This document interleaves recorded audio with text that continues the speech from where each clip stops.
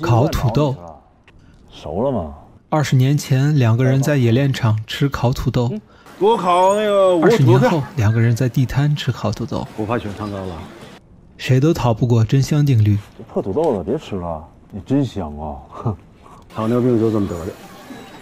一会儿你别吃，呸，吃那玩意儿全是淀粉。你真香啊！美素夹菜，掉桌子上的立马夹到自己碗里。这个细节是天底下母亲都会有的举动。好酒，这好酒啊！王祥走后门送厂长的酒，你拿回去。这是咱俩结婚你爸送的，样儿满月咱都没舍得喝。后面被厂长送给了彪子，彪子又送给了王祥。论年头，你得管他叫大爷。这好，这瓶酒最后在十一级 KTV 飙舞的时候喝掉了。我认识这酒二十年了，以前我得管这酒叫大爷，再不喝酒成我祖宗了。学外语，厂长给彪子送酒的原因是，我找我同学给他儿子补外语嘛。这里内涵了《人民的名义》中学外语的梗。我也想学外语，毕竟厂长也是有课外辅导的。王阳看的诗集，王想在儿子房间找地图的时候，发现了王阳看的诗集。让我生于父亲之前，让母亲以挽歌的绝唱为我，也为大地上的四季守眠。这首诗暗示了王阳和母亲的结局。爬山梗，同样是找地图时，王想发现王阳抛尸穿的冶炼服。王阳说：“前两天我跟曲波爬山时候穿来着。”对应的是隐秘的角落里张东升爬山的梗。看电影，搞对象的贼浪漫。彪子和丽茹看的电影是《春风沉醉的夜晚》。没想到你这么搞对象。这是讲同志的电影，拍摄手法本身是比较晃，就是有点晃，迷糊，并且也是秦昊出演。瞅这男演员长得跟你还有点像。这里辛爽在调侃娄烨和秦昊，只不过这部电影是零九年上映的，九八年能看到算是一个小穿帮。哎呀，那片选的多少有点失误了。爱学习，老说我适合拍电影，后来一心搞学术，耽误了。彪子的知识储备可以的。彪子，你太爱学习了。习惯了，用知识武装自己。弗洛伊德，剧中彪子多次提到弗洛伊德。都能做到两件事：认真工作，以及爱人。在工作这一块儿，你基本上已经做到一骑绝尘了。现在就是爱人了。谁是弗洛伊德呀？他分房了吗？后来以这个为借口上门找彪子。梦的解析，奥地利弗洛伊德作。宋厂长爱财。宋厂长的人爱财。常办下岗人员。公标。彪子的评价很到位，只可惜此财非彼财。不过这个镜头可能说明这块表是假的。站长，不走字啊。月亮，王阳和沈墨见最后一面的那晚，月亮是圆的。王想思念儿子的那晚是月牙。人有悲欢离合，月有阴晴圆缺。没水的杯子，导演多次用没水的杯子暗示人物要走下坡路。厂长杯子没水，然后就被抓了。请你配合我们调查。前面开会没水，然后就缺原料了。马队杯子没水。然后就辞职不干了。没水不知道啊，我不干了。拿衣服，你是不是疯了？马队脑血栓时记忆混乱，又回到了辞职不干的那一年。拿衣服，我到局里去。例如，之前一期分析过了例如对彪子的感情，这里补充一个小细节：例如给彪子的遗体擦拭时，先自己试了一下毛巾的温度。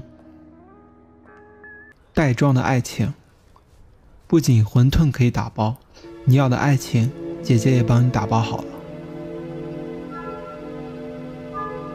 沈墨不着急离开。上次在家里，沈墨之前走早了，导致大娘被救，走得太着急。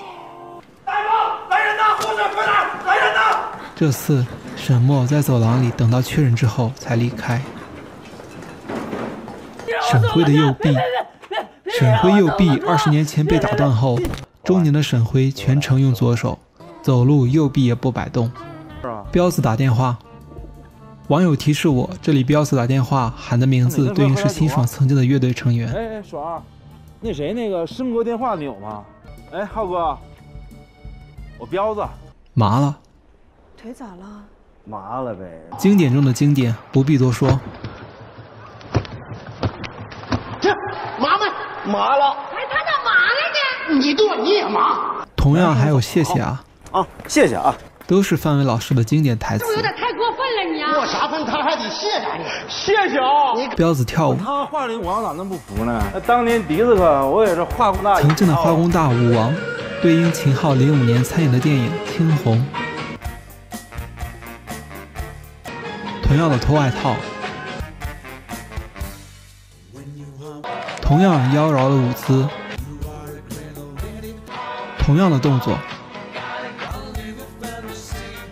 其实秦昊两次的这个舞致敬了电影低俗小说的牛牛舞。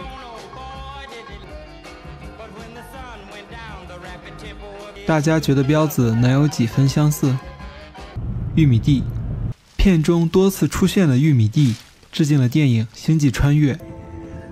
同样是剧组提前三个月种植，同样是发生了虚实结合、时空穿越的地点。邢三的大衣，我是保卫科科长。这大衣之前是权力和地位的象征，现在却是邢三尿袋的遮羞布。水手，彪子前一分钟还在唱水手，后一分钟就没有了明天。Is it tomorrow 导演辛爽是 Joyside 曾经的吉他手，Joyside 这首歌表达的并不是对终点和死亡的恐惧，而是哪怕明知将死。我们绝不向命运低头。原本是一首正能量的歌曲。别回头，再回首。其实剧中配乐这方面用的对比特别多。王响前一分钟还在告诉大家往前看，别回头，后一分钟片尾立马放再回首。小星星变奏曲，同样的对比手法。一闪一闪亮晶晶。满天都是小星星，在沈墨眼中是噩梦，在巧云儿子眼中却是美梦。第五集片尾也是这首歌，同一首歌曲却是两种命运。世上只有妈妈好。傅卫军和沈墨吃最后一顿时，大家注意听现场收音的背景音乐。